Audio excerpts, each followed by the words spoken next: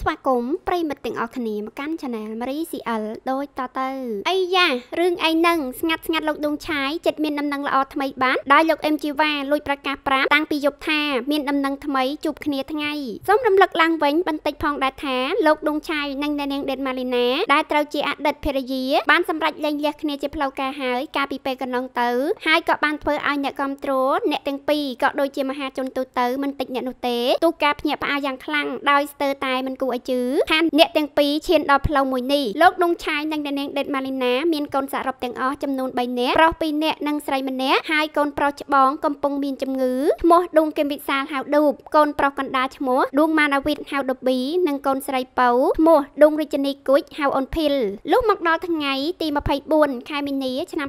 2022ទៅកន្លងផុតទៅអ្នកប្រើប្រាស់នៅក្នុងបណ្ដាញសង្គម Facebook មិនតិចអ្នកនោះទេទូការភ្ញាក់ផ្អើលនិងចាប់អារម្មណ៍សារជាថ្មីក្រោយឃើញលោកដួងឆាយសម្រាប់ចិត្តចូលរោងភ្ជាប់ពាក្យជាផ្លូវការហើយជាមួយនារីដ៏ស្រស់ស្អាត3ក្មេងម្នាក់អាយុ18ឆ្នាំប៉ុណ្ណោះគូដណ្ដឹងរបស់លោកដួងឆាយមានឈ្មោះពីរោះណាស់គឺហូមីលីហៅស្រីពៅថែមទាំងមានរូបរាងមុខមាត់ញញឹមស្រស់ស្អាតខ្លាំងណាស់ពិសេសនៅក្មេងទៀតដោយមើលទៅពិតជាសមគ្នាជាមួយលោកដួងឆាយទៀតផងចំណែកមុននេះបន្តិចនៅថ្ងៃទី1ខែសីហាឆ្នាំ